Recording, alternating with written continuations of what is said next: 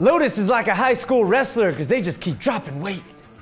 The Genesis brand will get a bunch of models, some you like, some you may not. And Porsche Cayman and Boxster, or the Porsche Cayman and Boxster, get themselves a new name. Plus, a Toronto taxi driver is all butthurt about Uber. And it's Friday, my friends, so you know I came to bring the pain hardcore from the brain with some rapid fire news. Daffy Duck's here, or is Yeah, that Donald Duck? exactly what I thought. Whoa, in the studio? He sounds sick though. Got some phlegm there. Yeah. All right, good to have you. Tell uh, tell Goofy I said what's up. Hey, what's up, everybody? I'm Derek D, and this is Fastlane Daily. And if you thought it wasn't, well, you are sorely mistaken.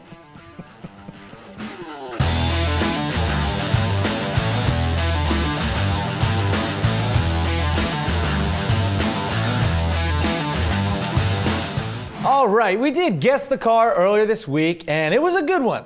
We scoured the YouTube comments, Facebook comments, tweets, and there were many guesses ranging from cars to trucks, Chevys to BMWs, Jaguars to Kias.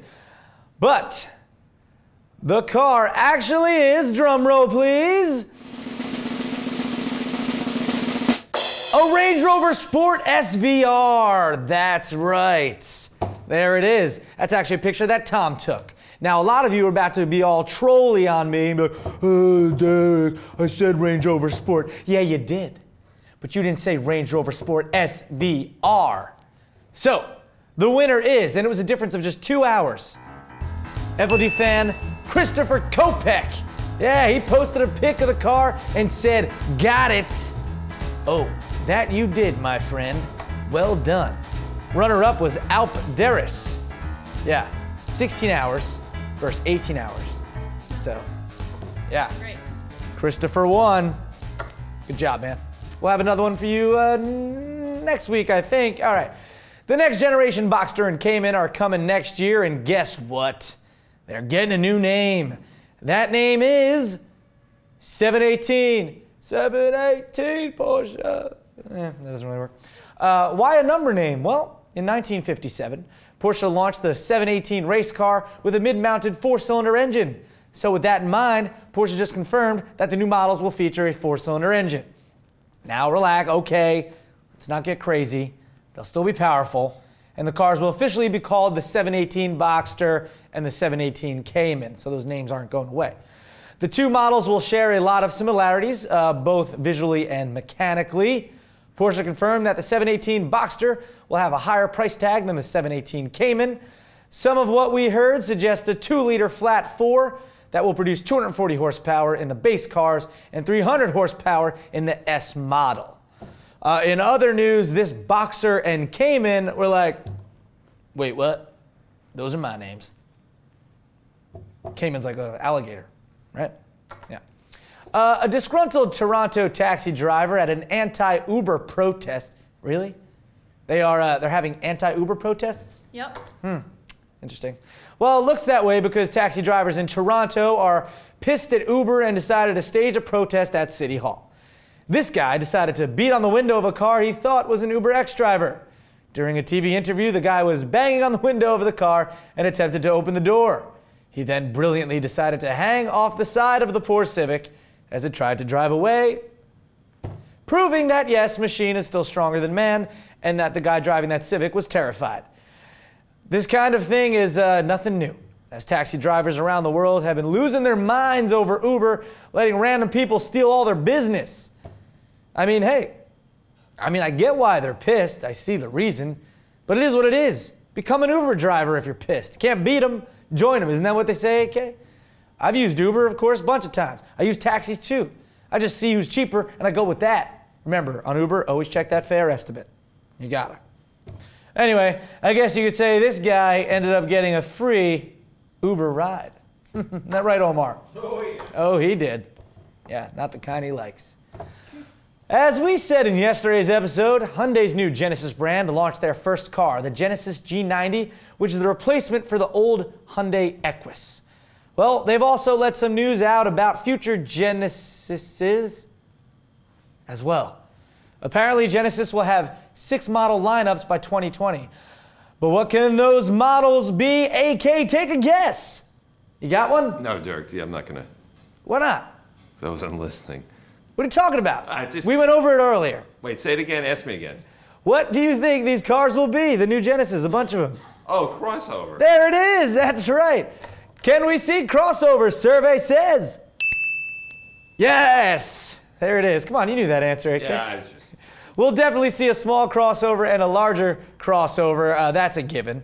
But we'll also get a luxury sports coupe, a super luxury sedan, and a mid-sized luxury sedan that will compete with the likes of uh, the Mercedes-Benz E-Class and BMW 5 Series.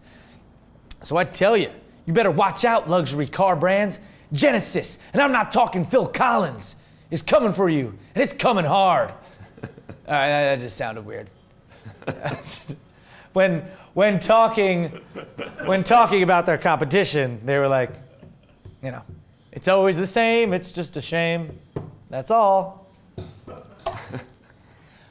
Let's talk about Lotus. I feel like we haven't in a while, so here we go. They're always looking to cut weight out of their models, like the Elise and Exige, and they are pretty light already.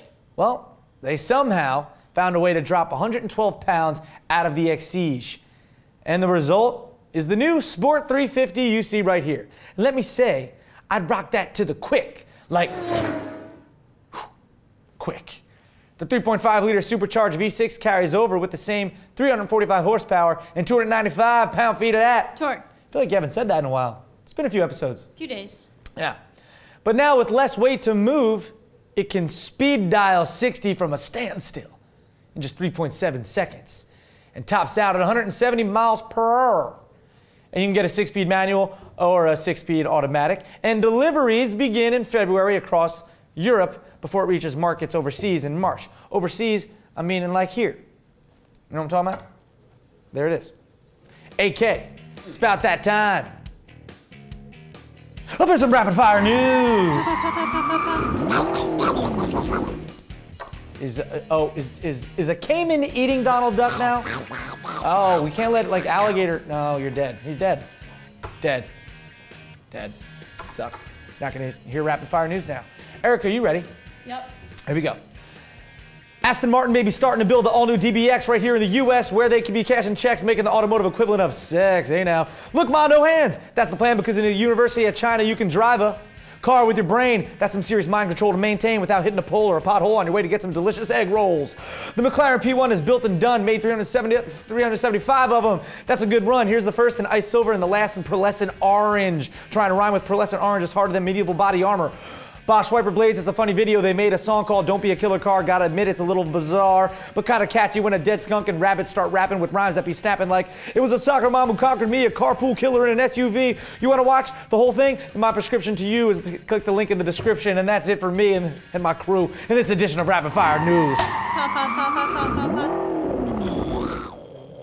Yeah, I get it. He's dead, and I'm, I'm that wasn't my best. No, you did a nice job today. Yeah, it was all right. I could have done better. You saved it. I saved it, but you know, it is what it is. But anyway, you guys uh, really, if you want to watch that video, it's funny. The link's in the description. Roadkill is like a dead deer, a dead skunk, a rabbit, a fox, and it's kind of catchy. So uh, go check it out, especially the rap. I dig the rap.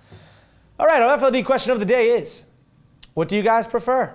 A professional taxi driver? I use the word professional loosely there. Yeah, that's really not it. or an Uber driver. I mean, I've had some shady taxi drivers in the past, um, but I mostly have had good ones. You know, uh, where, where I live, we have some good ones. Uh, but Uber, I use Uber all the time. So, and I've never had a bad experience yet. So, Uber's more convenient, I think. You know, right on your phone, bada bing, bada boom. Uber to come to your house. You know, there you go. Hashtag FLDQ of the D. Let us know, and you send your own in too. Tips at fastlanedaily.com. Thank you, AK. And that's going to do it for Fastlane Daily today and this week. I'm Derek D. Thanks for watching, everybody. And just let me remind you again I'm going to be in a production of A Christmas Carol in Asbury Park, New Jersey, at House of Independents, December 17th through 20th. If you're in, New, if you're in the New Jersey area and want to see me and a great show and a great cast, head to houseofindependents.com for tickets.